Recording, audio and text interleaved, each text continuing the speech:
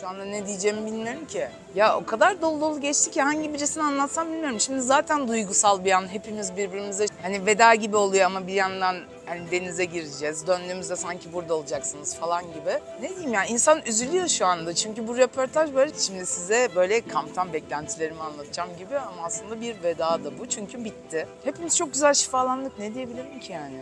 Üç gün dolu dolu yani bir nefes yaptık, beraber keyifli vakit geçirdik, birbirimizin hayatına dokunduk. Ne denebilir ki yani bence? Herkes çok güzel bir sinerjide zaten birbirimizin her şeyi olduk. Bugün de son gün ve deniyoruz.